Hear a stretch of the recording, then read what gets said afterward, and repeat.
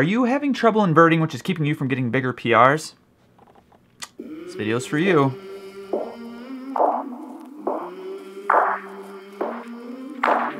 Welcome to the pole vault vlog. My name is Shawn Francis and today we're going to talk everything pole vault. Inverting is a part of the pole vault. This video is a small section from chapter 9 of my book and video series, The Pole Vault Toolbox. Both are available at team-hoot.com. I'm going to shoot you guys straight. I tried really hard to find an invert or an upside down pun and failed miserably. Do you have one? Do you have one for me? You can leave me down in the comments because I couldn't do it. I wear a necklace because I like to know when I'm upside down.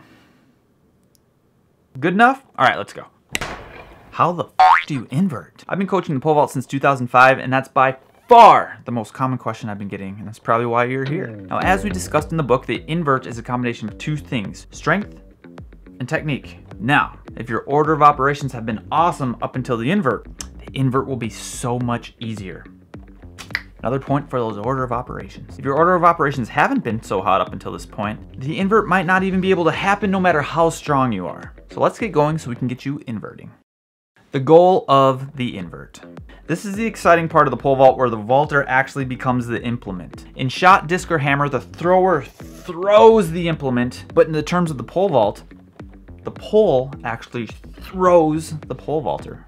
It's kind of a cool way to think about it. So our goal is to be the best implement possible for the pole to throw. We do this by trying to be completely inverted while the pole is at its maximum bend. This is so the energy from the pole can be put into the vaulter and the energy can be directed where we want it to go instead of the pole deciding where it wants to go. We also want to try and stay as close to the pole as possible. We've already talked about this a little bit, but the farther we get off the pole, the more energy we lose. So staying tight to the pole will help with our invert.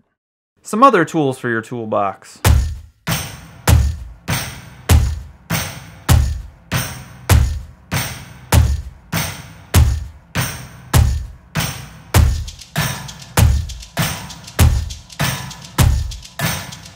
Guys, this is nothing fancy. This is essentially just a hoop with a bunch of tape onto a pole, and it's a hula hoop. It cost me eight bucks at Walmart and it's one of my favorite drills to use for kids.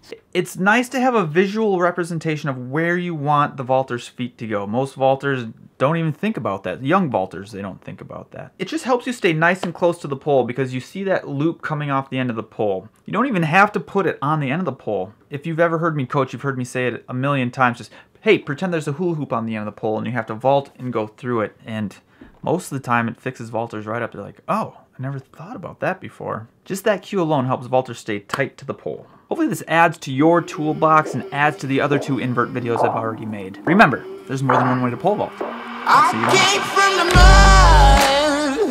Mud.